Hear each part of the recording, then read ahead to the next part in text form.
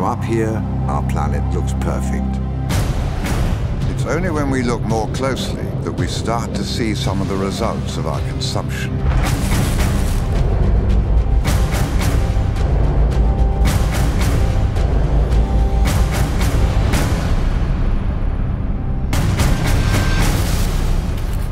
Does anyone know what happens to it all?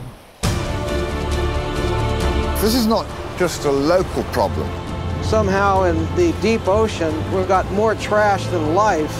We produce too much waste. We don't think about the consequences when we throw stuff away. It seems to be a case of out of sight, out of mind. Nature functions by building up and breaking down, building up and breaking down. We keep putting things into the environment that don't break down. Everyone in the population today has these chemicals in their bodies. It's everywhere. It causes all sorts of diseases. A woman has a way of getting rid of them. It's called having a baby.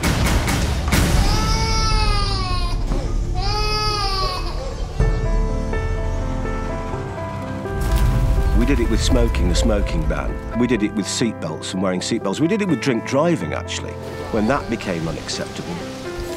We need to do this with waste. Perhaps times will change and we will.